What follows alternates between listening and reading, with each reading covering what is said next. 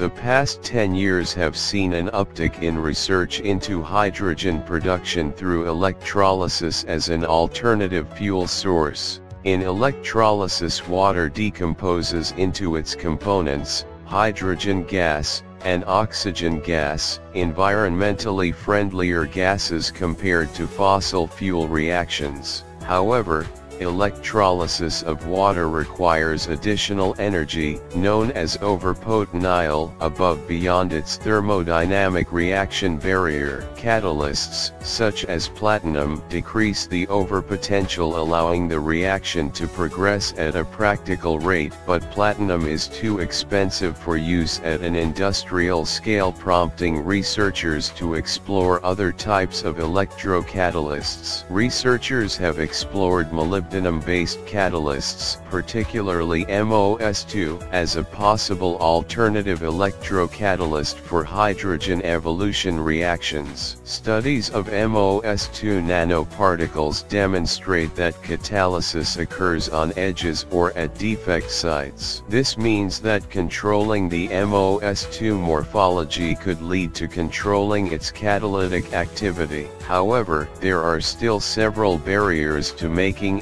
MOS2 a feasible industrial material. In new research reported in Science Advances, Jianwei Miao, Fang Xing Xiao, Hongbin Yang, Si Yun Khoo, Jiazang Chen, Zhanxi Fan, Yingya HSU, Haoming Chen, Huazhang and Bin Liu from Nanyang Technological University in Singapore and National Taiwan University have devised a molybdenum nickel-based hydrogen evolution catalyst that can be deposited on a flexible, conductive carbon fiber cloth. Analytical studies show that their NIMOS-C catalyst, when prepared using the reaction solution with a nickel to molybdenum ratio of 1 colon 1, has better over potential values and is more stable than MOS2 in neutral electrolyte.